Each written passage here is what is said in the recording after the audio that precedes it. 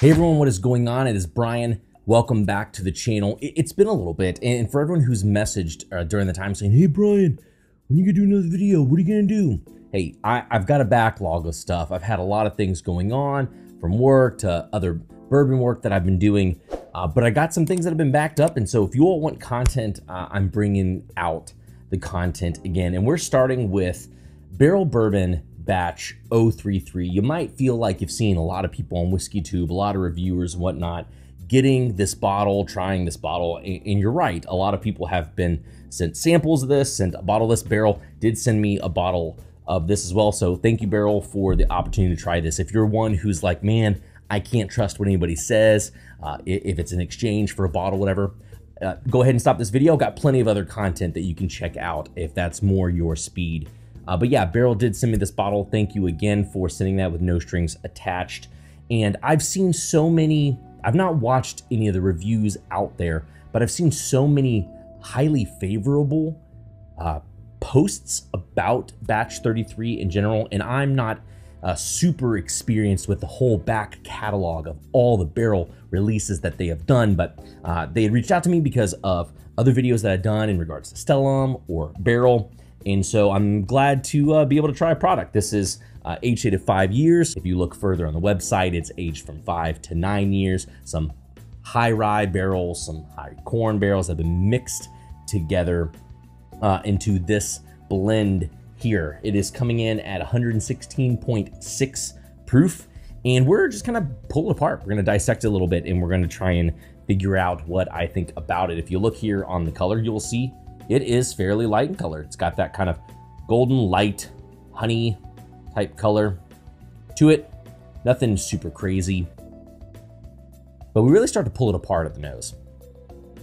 And especially from the minute you pour it to maybe a couple of minutes after sitting there, you already morph through a whole lot of flavors on the nose. It's been sitting in the glass for a little bit now. In some of the notes that I'm pulling apart now, it has a, a, strong citrus presence. It has a lot of toffee right away. It has this uh, tree sap type of uh, kind of grassiness or, or, earthiness at play. Some some darker fruits, maybe some stewed fruits, some like cherry, some raspberry notes in there. But also it has some kind of youthful, um, bright, bready notes a little bit in there. You move into pear notes, you get almost maybe a cantaloupe type melon note in there as well. The more you nose this, the more notes are kind of all over the place. And I say all over the place because it runs the gamut. You kind of have maybe some youthful lighter notes that I've pulled apart in some MGP stuff before. And then you also have some kind of funky notes that you don't often get. Going a little deeper in there, you get some, some spices as well as confectioner sugar. So these are notes that we've mentioned in a lot of things before. I'd say overall, it's a pretty typical bourbon-like nose. To sum up very broadly, it's when you start to really dive into the nose that you start to pull out a lot of unique notes that you don't often find in every other nose. And for that, it's pretty intriguing. Uh, kind of juicy fruit gum meets cinnamon. Um, definitely some sweet and spice at the same time. Let's go ahead and dive into the palate for the first sip. It does feel very light initially on the palate. It moves to some very spice notes, very heavy on the cinnamon, very heavy on the baking spices, very heavy on these black pepper notes. And a lot of times I feel like I've, I've pulled out um, honey and vanilla. This one's pretty specifically molassesy notes. It's, it's darker, it's interesting. But then again, the more I, the more I the, uh, bring in through the nose and then taste on the palate, it has these peachy tones you've heard me talk about in Pinhook before. You've heard me talk about in Stellum before. You've heard me talk about in a lot of other brands, maybe bringing in some MGP stuff as well, or getting into a little bit of the Blue Run stuff, getting a little bit into things that were distilled uh, Castle and Key based, uh, a whole pocket of, of flavors in the stone fruit category that, that we've mentioned in past videos from products you get on the palate here. It is still bready. It still does bring out a lot of this juicy fruit gum note. Man, it really does have a lot of kind of sweeter toffee, butterscotchy notes linger on. But gosh, there is a lot of baking spice. There is a lot of pepper on this and, and it lingers with a lot of bright citrus. The lingering note is citrus.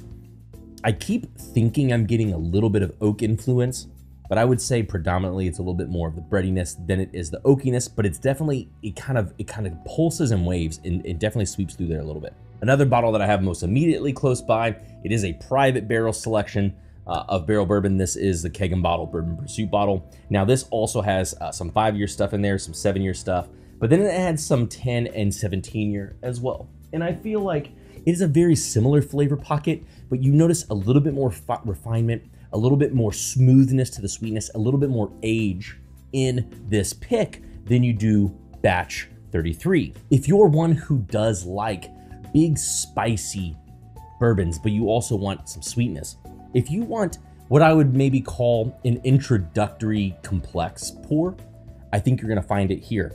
It makes me wish that I immediately had the Stellum products nearby because I think this would be really interesting to try against uh, the Stellum bourbon to kind of just see where they rank because they're kind of so close uh, in price point, but the batch 33 a little bit higher than that. But I would say if you're wanting not quite a gateway bourbon, but if you're looking for a bourbon that has some subtle complexities, but they're easy to digest, it's easy to say, oh yeah, I get a lot of different flavors from stone fruit to uh, some interesting sugars to some earthy characteristics. Now on the nose, it kind of almost has some kind of smoked wood going on to it. And specifically coming after the keg and bottle bourbon pursuit bottle, I feel like I do notice a little bit more wood, a little bit more oak presence in batch 33. You really have a bottle that plays off of spicy and sweet.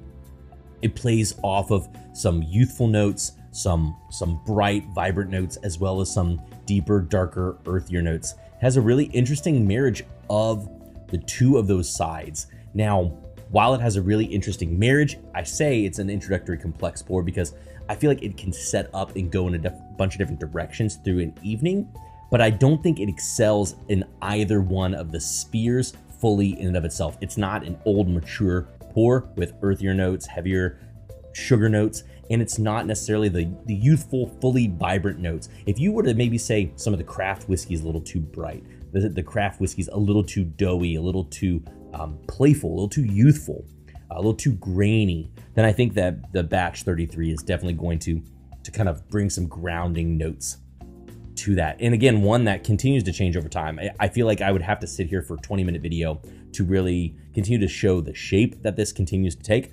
Because even now I'm pulling out uh, more interesting nuance on the nose, some more smokier notes, floral notes, a little more bouquet-like flavors to it.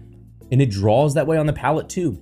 Now, a couple minutes into the video, we have a lot of that toffee, a lot of honey, molasses notes with a nice floral lingering, not quite to the level of, of Four Roses, but it really sits in kind of a similar camp to that in regards to the spice, the sweetness, floral, and a little bit of those kind of medicinal tones to it as well.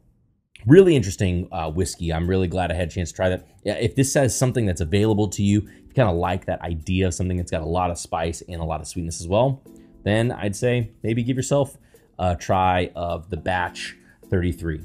Thanks so much as always for tuning in, everybody. Let me know if you've tried batch 33 or other Barrell batches and what you guys have thought about them. Let me know what else you want to hear me talk about on future videos here on the channel. I'd love to know and I'd love to be able to interact with you guys and dig into some topics that you all want to hear me talk about. Until next time, everybody, we'll see you all later.